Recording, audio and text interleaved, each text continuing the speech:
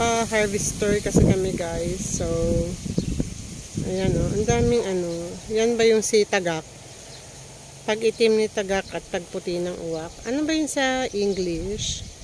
You call it herons? Heron? Heron? I don't know. You're my heron. Ay. And there's a heron comes along. Hero pala yun. Charot. Ayan, ang dami nila kasi usually yan pag tag-ulan lang eh. Ewan ko kung bakit nandito sila ngayon. Siguro maraming ano, pulisap.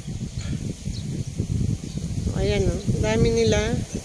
Usually pag tag-ulan, during ano, during uh, rainy season, tsaka yan sila lumalabas, kumakain sila ng golden snail. Pero ngayon, nandiyan sila. O, ewan ko, siguro pulisap naman ang tinitira ng mga yan.